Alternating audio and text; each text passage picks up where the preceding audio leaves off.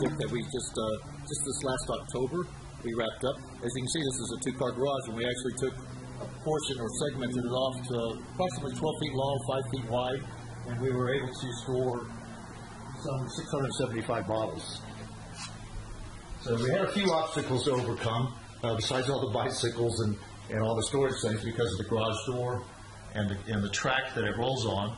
We had limited height to work with, but we're still able to maintain some of the storage, as you can see above here. So all in all, came out really nice. Clients are very, very happy with it.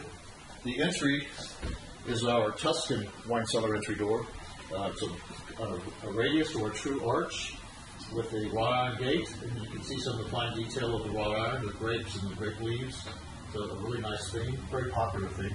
Okay, one of the nice features of our Tuscan door on this wrought iron is actually it's optical. You can lift this little hinge, or that little uh, latch there, and it's on a hinge.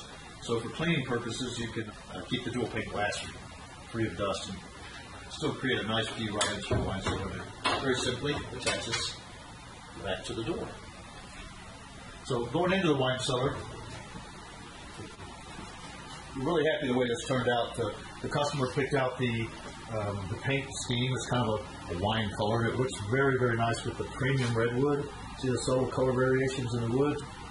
Uh, it really looks nice with this kind of Pinot color scheme. The flooring is actually, although it looks like it's wood, it's cork floor.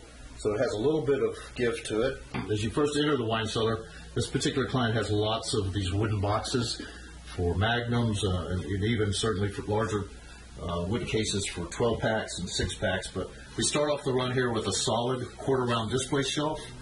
As we move back further into the cellar, lots of large format bottles 1.5 liter, 3 liter, 6 liter, and even in the back, as you can see, we have a 12 liter bottle. It was very important to him to be able to store and display these properly. These are in a label forward horizontal display format. In the case of the smaller Magnum style bottles, we can get as many as four per opening and the larger three three liter formats, two bottles per opening. These uh, shelves here, these are actually adjustable. So as his collection changes over the months and years, uh, he can certainly adjust the shelving to the proper spacing.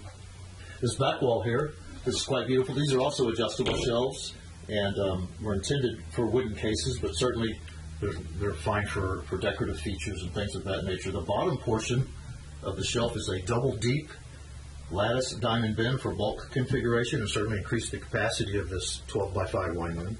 The lattice style feature of the diamond bin allows for good airflow around the bottles. And it's a nice attractive feature to the wine cellar. As we come back down the right, the right side of the wall, we've got lots of single bottle storage with a high reveal display row. These bottles are pitched at a 15 degree angle, so the, the liquid's still in contact with the cork. But it's a nice, it gives the wine room a little character and it certainly shows off some of the labels. But again, a good management tool because you can put like wines above and below the display row.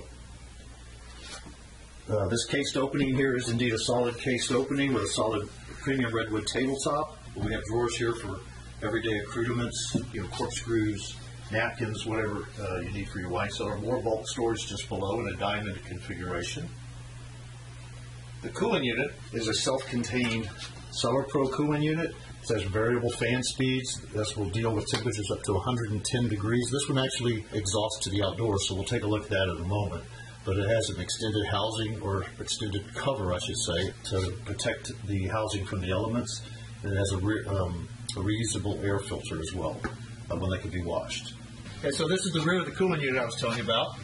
Um, it extends out beyond the house a little bit more so than the last project that we looked at because of this added depth to protect the rear exhaust and the reusable aluminum filter protects it from the elements. Uh, the condensate drain line here um, also simply drains off into the flower bed.